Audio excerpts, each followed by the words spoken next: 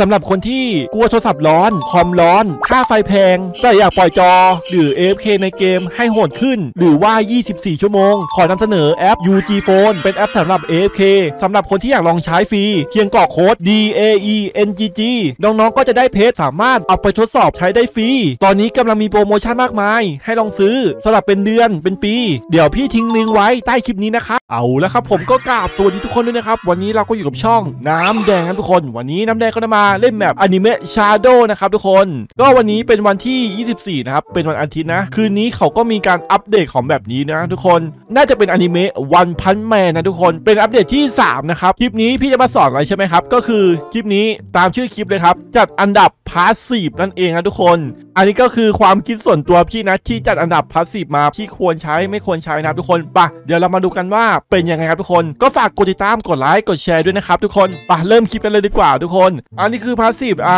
เพิ่มเงินนะครับอันนี้เป็นรูปคล้ายๆกล่องนะครับกล่องเป็นเครื่องหมายตกใจนะ ก็คือ passive เงินนั่นเองนะทุกคนมันจะเพิ่มเงินประมาณนี้ 10%เป็นรูปหัวกะโหลกนะครับสีขาว passive นี้ก็เหมือนแบบตีแต่บอสนะครับก็คือตีแต่ตัวบอสแบบเนี้ยมันได้แค่บอสนะ 15%นะครับ สีเทานะทุกคน ต่อไปนะครับก็กล้ามสีขาวนะครับ ก็คือ passive นี้จะเพิ่มความเสียหายให้สัตว์เลี้ยงอีก 5%ก็คือเพิ่มพลังความโจมตีของสัตว์เลี้ยง 5%เท่านั้นครับทุกคน อันนี้ก็คือโอกาสการ drop นะ ไม่ใช่อ่าเปอร์เซ็นต์ของมันนะครับทุกคน โอกาสการ drop passive นี้นะครับทุกคน 22%ต่อมา passive สีฟ้ากันทุกคน passive นี้สร้างความเสี่ยงหายมากขึ้น แก่บอสนะครับสามสิบเปอร์เซ็นต์สีขาวมาสิบห้าเปอร์เซ็นต์เห็นไหมสองเท่าและสามสิบเปอร์เซ็นต์นะทุกคน พี่ขอเรียกว่ากล้าม2แล้วกันถ้ากล้าม2อะมันจะเพิ่มความโจมตีแบบให้ damage เราโหดขึ้น 20%นะครับทุกคนสีเทาแค่ 5%นะมันเพิ่มมาแล้ว 15%นะทุกคนเป็น 20%แล้ว ทีนี้ passive นี้คือ passive เงินนะครับทุกคนเพิ่มมา 20%นะครับก็คือเพิ่มเหรียญ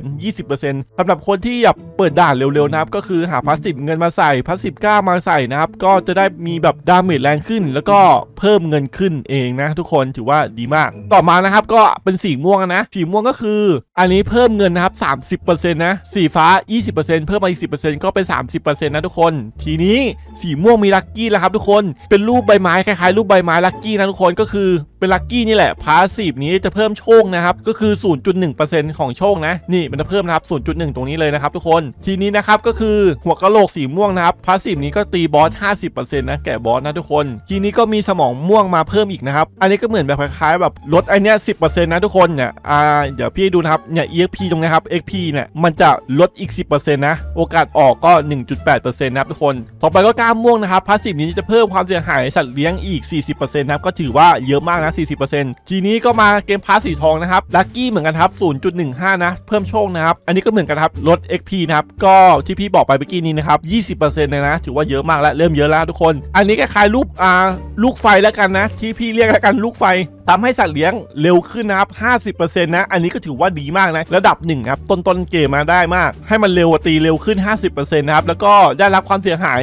20%ถือว่าดีนะอันเนี้ย ดีมากเลย ระดับสีทอง ต่อมานะครับก็คือหัวกะโหลกสีทองนะครับพัสอันนี้พัสสีนี้ก็เพิ่มแก่บอสอย่างเดียวนะร้อยเปอร์เซ็นต์แล้วเห็นไหมร้อยเปอร์เซ็นต์แล้วอะสีม่วงเท่าไหร่สีม่วงห้าสิบเปอร์เซ็นต์อันนี้สองเท่าและร้อยเปอร์เซ็นต์นะทุกคนถือว่าเจ๋วมากตีแต่บอสนะ ไม่เกี่ยวกับมอนปกตินะครับไม่เกี่ยวนะ แค่คำว่าบอสนะตรงนี้เลยแค่บอสเฉยๆต่อไปนับไททันลดความเร็วของสัตว์เลี้ยง 50%นะครับก็คือเหมือนแบบอันนี้น่าจะเป็นแบบคล้ายๆ ความเร็วโจมตีนะแบบปกติเราโจมตีเร็วอยู่แล้วใช่ไหมมันจะลด 50%นะแต่รับความเสียหาย50%นะครับและสร้างความเสียหายมากขึ้นแก่บอสนะ แก่บอสนะ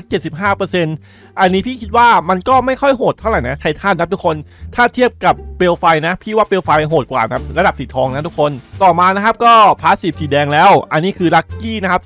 0.25 โชคนะทุกคน เพิ่มมาเยอะมากนะ 0.25 นะทุกคน passive นี้ lucky ดีเหมือนกันนะครับ พี่ขอเรียกว่าด้วงหรือว่ามันแรงสาบแล้วกันนะ อันนี้มันจะเพิ่มความเร็วโจมตี 50%นะ แล้วก็สร้างความเสียหายเพิ่ม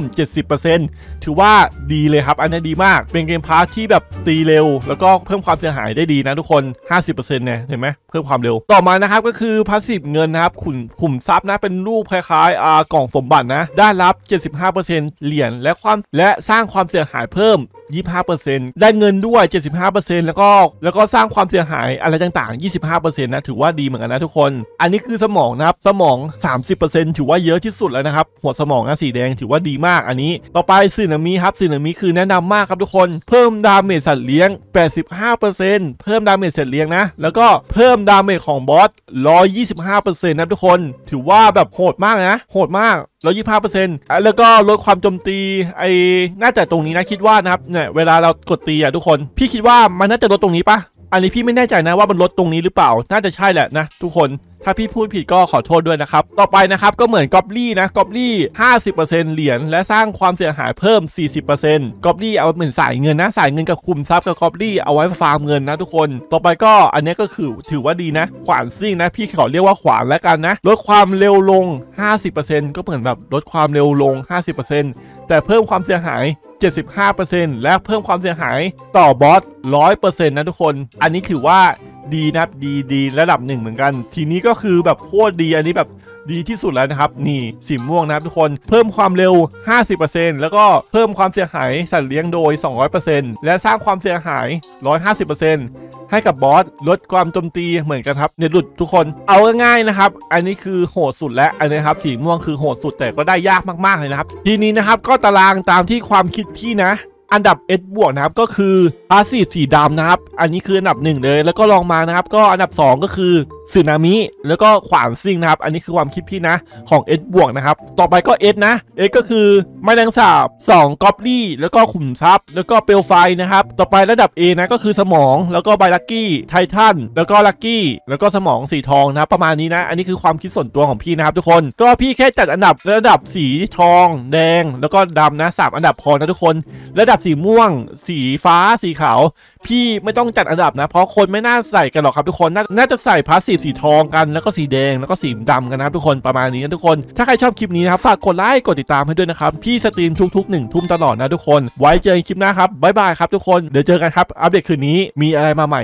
ของ One Punch Man แล้วเจอกัน คุณน่ะนางเอก ผมน่ะตัวร้าย